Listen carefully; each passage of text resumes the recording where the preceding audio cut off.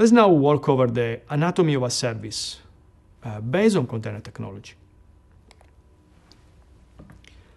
In a microservice application, the set of running service instances change dynamically. Instances have also dynamically assigned network location. Consequently, in order for a client to make a request to a service, it must use a service discovery mechanism.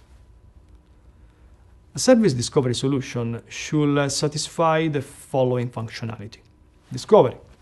Services need to discover each other to get the network location of other services in the cluster. Health check. Only health services should participate in handling traffic. An healthy service needs to be dynamically pruned out. And load balancing. Traffic destined to a particular service should be dynamically load balanced to all instances providing the particular service.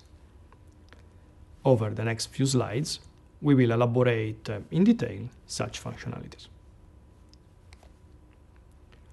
There are uh, two main service discovery patterns client-side discovery and server-side discovery. Let's first look at client-side discovery. When using client-side discovery, the client is responsible for determining the network location of available server instance and uh, so to load balance request across them.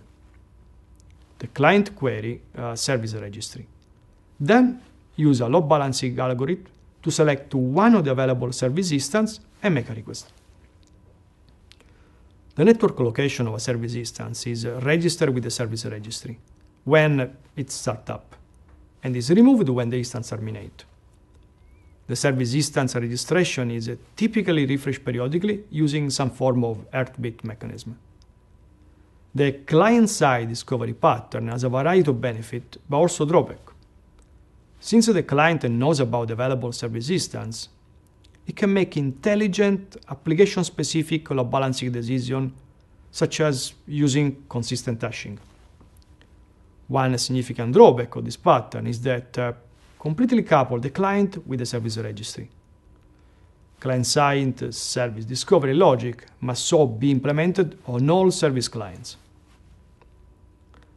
The alternative approach to service discovery is the server-side discovery pattern. The client in this pattern makes a request to the service via load balancer. The load balancer queries the service registry and routes each request to an available service instance. As we see with the client-side discovery, service instances are registered and registered with the service registry. The server-side discovery pattern has also several benefits and drawbacks. One great benefit of this pattern is that uh, details of discovery are completely abstracted away from the client. Clients simply make requests to the load balancer. This eliminates the needs uh, to implement the discovery logic on each service client. This pattern has also some drawback. Unless the load balance is provided by the deployment environment, it's yet another highly available system component that need to be set up and managed. Let's summarize the key component of a service discovery solution. Service registry maintains a database of service instance and provides an external API to interact with. The registrator registers service dynamically to the service registry by listening to service events. They'll check that monitor service health dynamically and updates the service registry based on status change. And the load balancer that is responsible to distribute traffic destined to a service among active participants. Uh, let's examine in detail uh, health check options.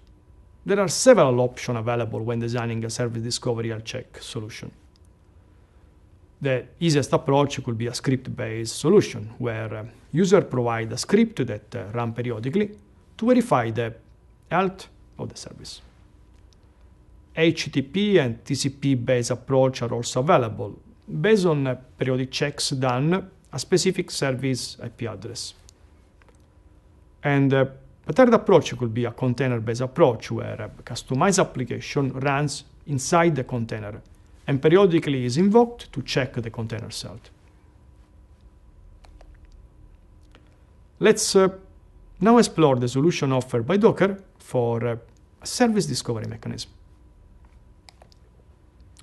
As of Docker 1.12, service discovery is directly included in Docker through the Swarm mode, with an embedded DNS and a load balancer. When a service is created and assigned to an overlay, its DNS name is registered, and other services, part of the overlay, can access it through its service name. Tasks running for a service are properly load balanced using the built-in load balancer. Let's look more detail how this mechanism works.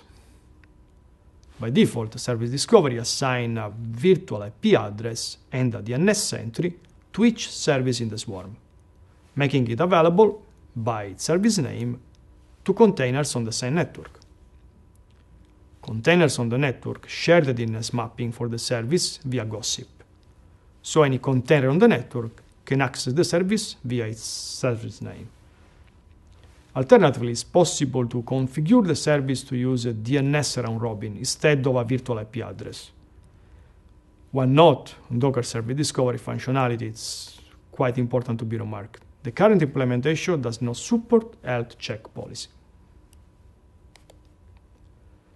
Docker Load Balancer implementation is based on IPVS.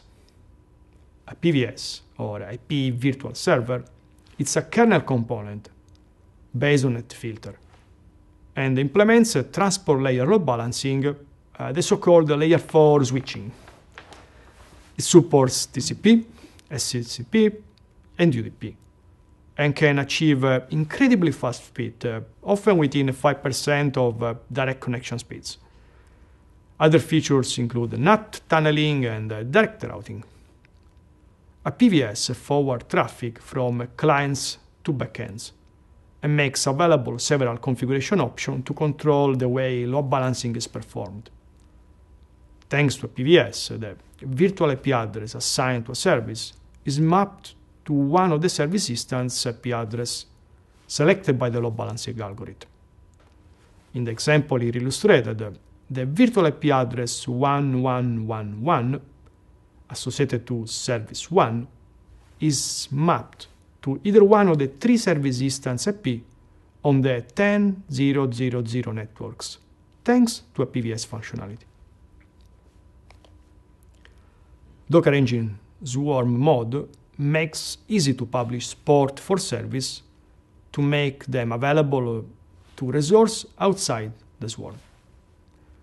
When a service needs to be exposed outside of our Docker Swarm cluster, a mechanism called routing mesh is used.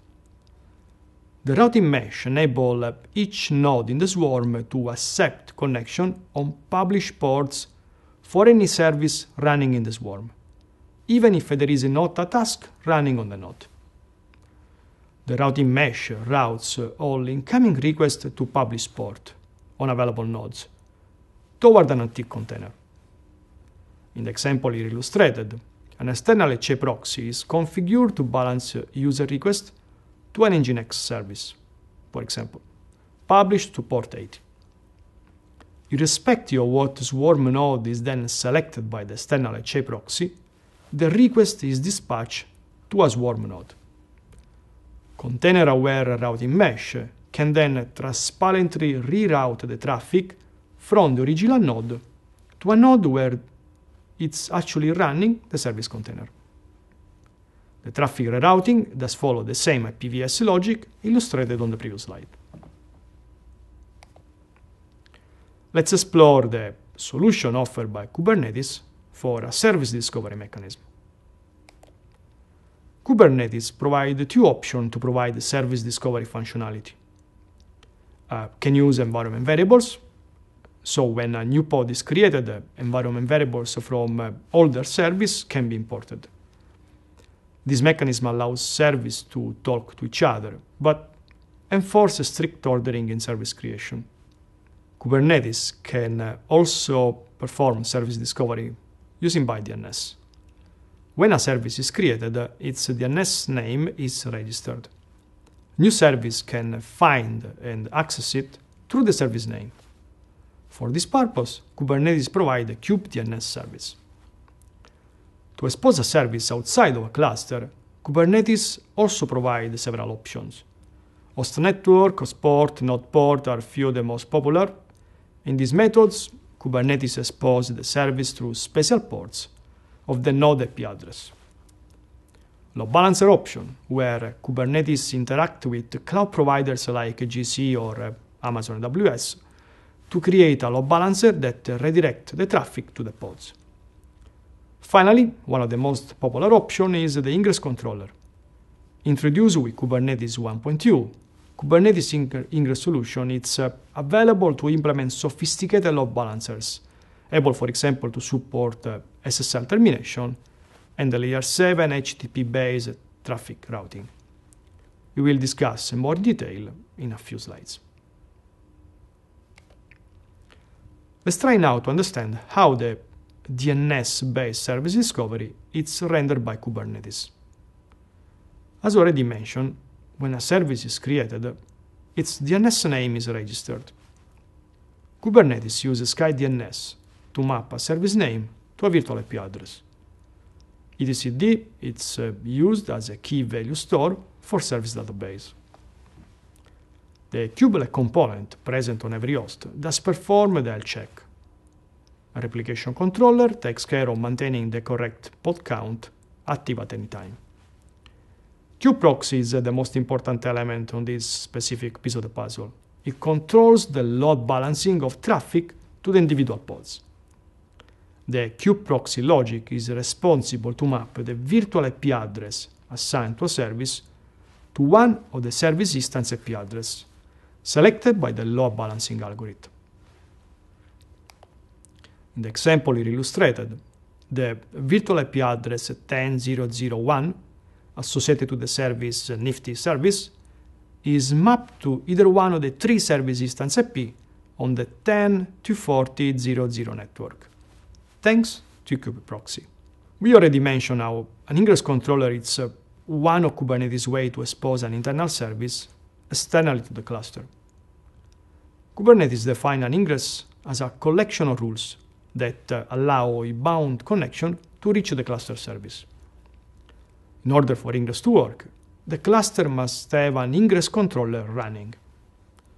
Users basically request an ingress by posting the ingress resource to the API server. The ingress controller is then responsible for fulfilling the ingress dynamically by watching the API server ingress endpoint. Using Ingress controller, service can be configured to provide external reachable URL, load balance traffic, or even terminate SSL connections. In summary, Kubernetes service abstraction is based on the load balancer functionality.